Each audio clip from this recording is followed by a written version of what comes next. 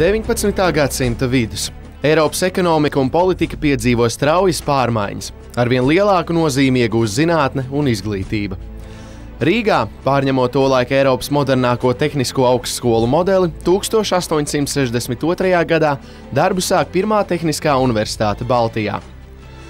Ar Krievijas cara parakstu akceptēta Rīgas Politehniskās skolas, vēlākā Rīgas Politehniskā institūta dibināšana kļūst par vienu no nozīmīgākajiem notikumiem Latvijas vēsturē. 19. gadsimta vidus Latvijā ir laiks, kad Rīgā atklāja pirmo dzelzceļa maģistrāli. Sāk izmēģināt dzelzceļa kuģus ar tvaika dzinēju, Švārca koncertdārzā demonstrē elektrisko apgaismojumu. Sāk kursēt pirmais elektriskais tramvajs Baltijā, top dzīvojamie nami, finanšu un iestāžu ēkas, un Rīga pārvēršas. Rīgas Politehniskās skolas studenti un mācību spēki ir tie, kuri pasaulē liek griezties ātrāk.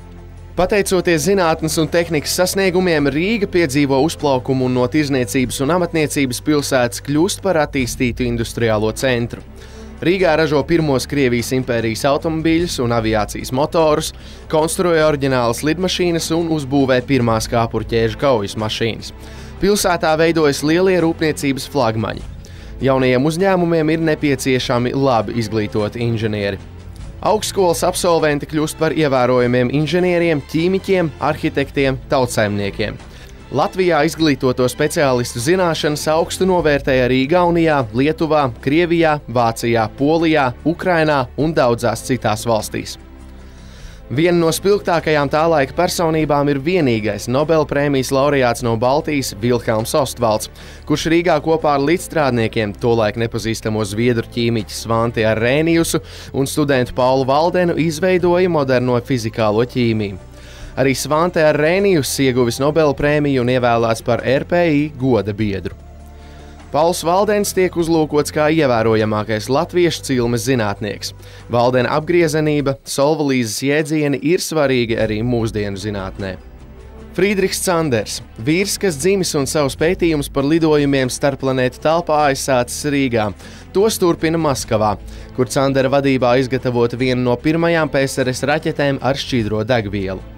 Mihails Doļīvo Dobrovoļskis 1889. gadā izgudro trīsfāžu asinhrono dzinēju, pēc tam trīsfāžu transformatoru. Viņa vadībā radīta pirmā augstsprieguma maņstrāvas elektroapgādes līnija pasaulē.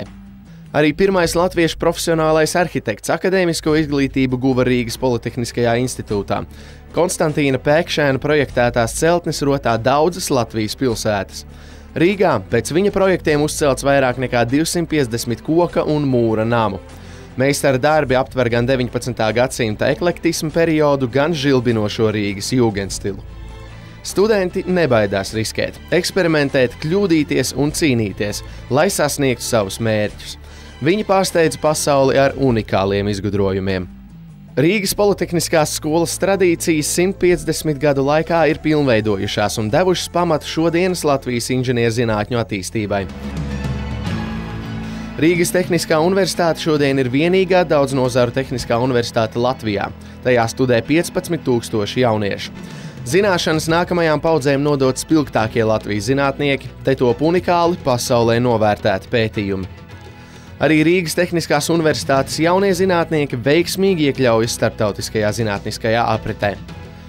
Materiāla zinātnes un lietišķās ķīmijas fakultātes profesors Māris Turks pēc studijām Rīgas Tehniskajā Universitātē, Šveicē un Amerikā atgriežas Latvijā, lai turpinātu pētījumus dzimtajā universitātē un mācītu jauniešus.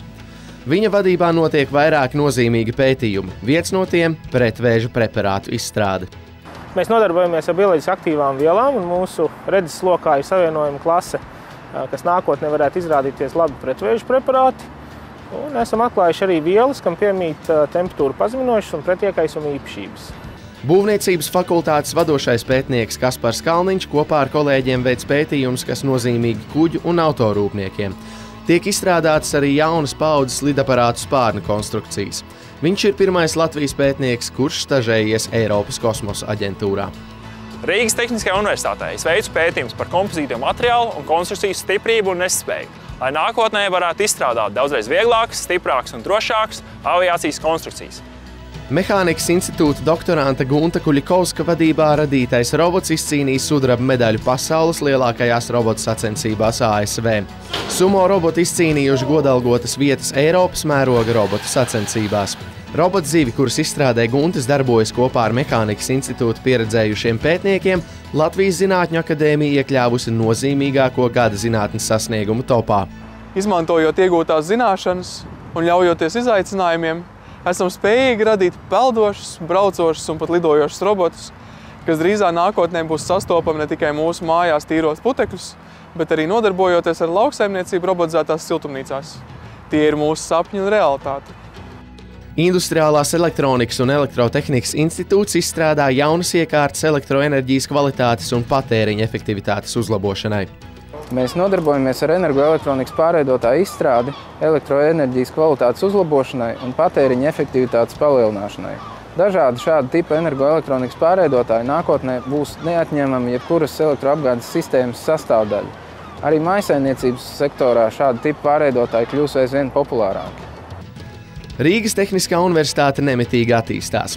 Pilsēta pilsētā ir viens no sapņiem, kas īstenojas. Ķīpsala būs zinātnisko pētījumu un ideju ģenerators - Rīgas sirds.